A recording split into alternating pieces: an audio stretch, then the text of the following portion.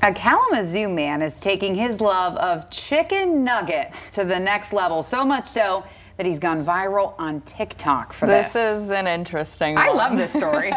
Fox 17's Lauren Coomer is live in the newsroom with how he preserves these chicken nuggets and then hides them in public in places for people to find. Lauren?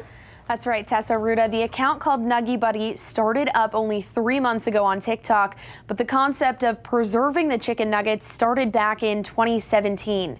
The owner, Zachary Lind, saying he's already preserved around 8 to 10,000 since then.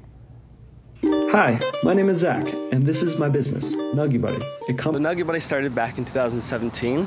Uh, just as a joke with a friend, we wanted a conversation piece. This is a Bob Ross nugget. A conversation piece they got, getting popular on Etsy first, selling the preserved chicken nuggets, and then taking to TikTok only three months ago with scavenger hunt videos. And this is how.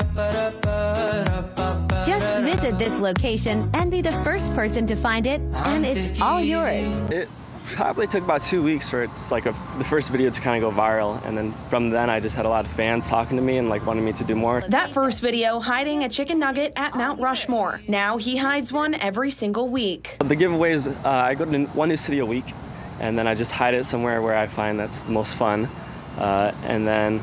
Usually once a month I have one big project, so I do like a chicken nugget skateboard or a chicken nugget guitar, or like a baseball coming up. Lind also turns the chicken nuggets into characters like Post Malone, Shrek, or Mickey Mouse. And it's a tedious process just to preserve them. And now Shrek the Nug is back in the swamp, happy as ever. It's about a 14 day process of just drying them out, re-soaking them, drying them again, and then covering them in epoxy to fully preserve them. But Lind doesn't mind. He's turned it into a full time job, gaining over 38,000 followers on TikTok in those three months. My plan with it is as it grows, I'm hoping to get my own facility.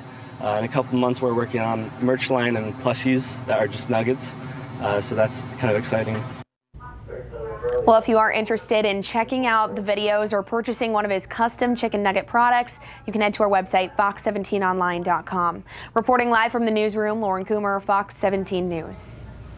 How funny. I love it. I mean, I want to find one of these now. I know, locally. but he's like double soaking them, preserving them like a mummy, like a mummy nugget. Mommy. I don't know, man, but it's a cool idea for It's sure. It's really neat. It's Right. right. You can make money off of anything. anything these days. Love it. Time Love the now creativity. is six.